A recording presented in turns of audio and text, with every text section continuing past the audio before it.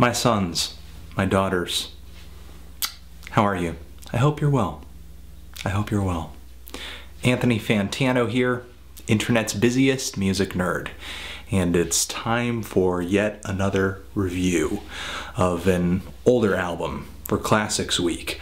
Miles Davis, Bitches Brew. Miles Davis, trumpeter, band leader, composer, and one of the most versatile musicians in jazz. Really, since Miles Davis started putting out solo albums, it seemed that no matter what new idea or musical concept was coming up in jazz, he was there to either spearhead it or just wholeheartedly embrace it with a top-notch album. That rang true of Bop, of Cool, also his modal masterpiece, Kind of Blue, and later in the late 60s and early 70s when avant-garde jazz and fusions of jazz and rock music seemed to be the next new hot thing, he, he was there innovating.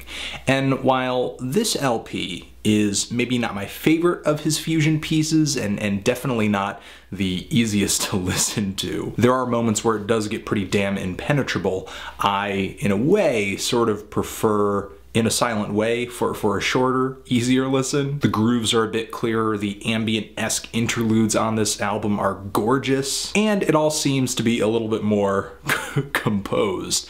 Later, after Bitches Brew, Miles would fly in the face of funk and, and Afrobeat with albums like On the Corner and the extremely fiery and kind of psychedelic Agharta. But Bitches Brew's undying popularity does kind of make it Miles' definitive fusion piece, and it's really no wonder why. I definitely think the strong rock influence on this LP does make it sort of an easy transition for rock music fans. This album also, for its time, had a very ear-catching name, as well as an illustrious album cover. Plus the extremely lengthy list of guest musicians and a very long runtime does make this album pretty much Miles' most ambitious foray into this style of music. Every track on this LP is a pan panoramic display of these very loose, fluid jams that are very instrument and improv heavy. This album is actually pretty post-production intensive for a jazz LP. There are a lot of in-song edits as well as echoes, reverbs, tape delays. The sounds on this LP are so clear and sharp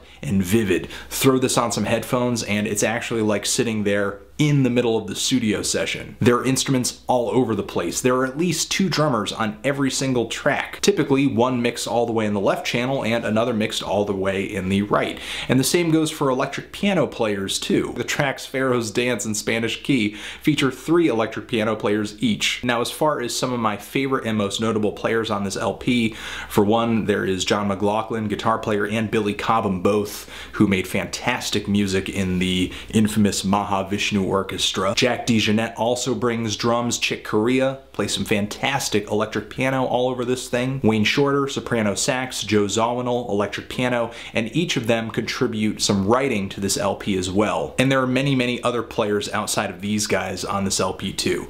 Just a lot of great jazz fusion giants on this album that either had their own solo albums or projects out there, a lot of them on the very jazz fusion friendly label ECM Records. And another thing that kind of steps this album outside of the traditional jazz realm, for the most part, it is electric and just rock instrumentation on this thing. The only obvious exceptions being Miles Davis and Wayne Shorter, but of course Benny Maupin is on a ton of tracks here playing his very prevalent bass clarinet. It does feel kind of weird having a woodwind in the midst of all of these guitars and, and drum sets on this LP, but it actually adds a pretty interesting texture on a lot of these songs songs. I mean, with the production, the players, the instrumentation, and the song lengths, Bitches Brew can pretty much be summed up in one single word, and that is excess. And I wouldn't even say it's like well-groomed excess.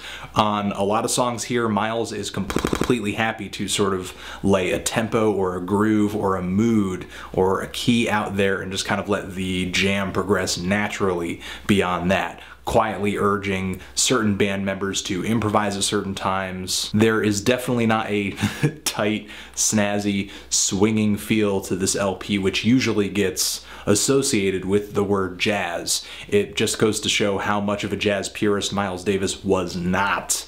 If anything, he was, in fact, just an improvisation purist. And while Bitches Brew was not exactly pushing the avant garde jazz or the improv envelope as hard as some other LPs that came out around this time did, or even some LPs that preceded this album, Bitches Brew was certainly one of the best full lengths when it comes to improv of this shade, something that is performed with a large band, very lengthy, and rock influenced. There are parts of these tracks that do feel very clearly composed, whether they be introductions or themes or just sort of syncopated riffs, something like that that brings a song from one area to another. For example, the very kind of refined and, and slow build-up of instrumentation on this album's title track, as well as Miles' bright and echoed shots of trumpet. Once this passes, some bass guitar and bass clarinet comes through, starts playing some lines, and the song goes into its next phase, a very dark, moody and funky groove. But it's not like a, a, good time funky groove. I mean, it's just got this very sour quality to it. It has this heavy sense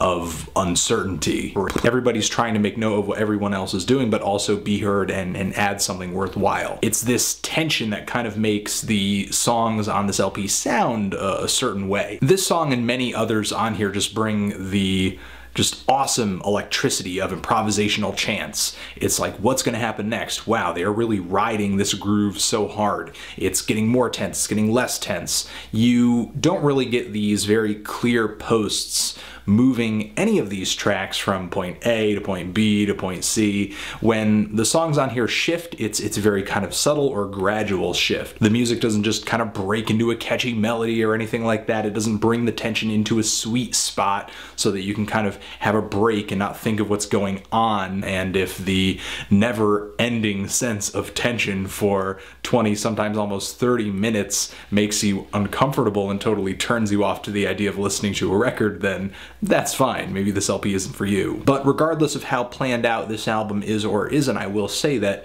eh, you're basically hearing on this album, track for track, some fantastic performances from some of the best players in this style around this time. Now, as far as other notable moments outside of the jams, easily the introduction to the song Pharaoh's Dance. That bass line right at the beginning is unmistakable, and the droplets of electric piano slowly falling onto that track are just gorgeous. It's such, again, a very vivid, cinematic song. If the first two tracks, the longest two tracks on this LP, are maybe a little too dismal, a little too long-winded for you, or uneventful, then definitely try out the song Spanish Key.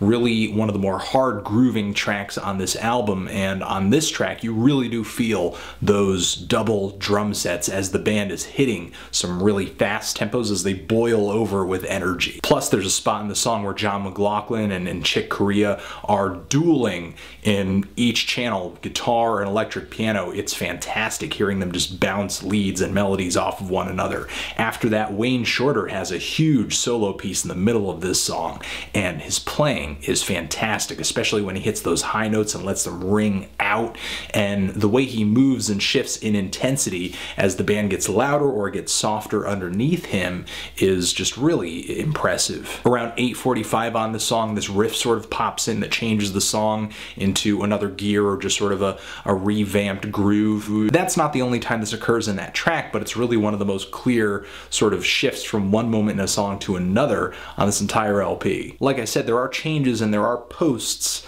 on this album. It's just that they're usually pretty subtle and sort of slow arriving. Really the meat and potatoes and what makes this album so attractive are the jams. John McLaughlin kills it on the track that he's attached to. Miles Davis runs the voodoo down is another hard grooving song if you've loved Spanish Key. And what was once the closer on here, Sanctuary, before a lot of modern reissues of this LP added another song toward the end of this album, which is also awesome, but still back to Sanctuary. I love the skittering drums on that that track. And the way the slow moving and echoed horns kind of interact with the drum sets on the track, it's just so, so strange. There's not much more that I could say about this LP in terms of describing the tracks. I mean, to go beyond where I am now, I feel like would be insane. I would be describing literal solo moments in the middle of the songs. And the thing is, if, if how I've described this album generally sounds completely like a turnoff to you, then chances are you don't care what the solos sound like. If you're looking to get into jazz music, there are more accessible and more traditional albums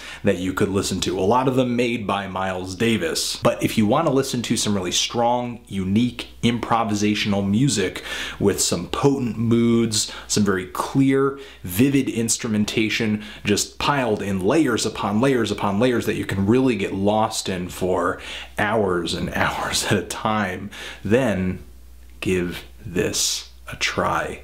Miles Davis, Bitches Brew, if you've given this a listen, what did you think about it? Did you love it? Did you hate it? Why? Is this one of your favorite albums of all time?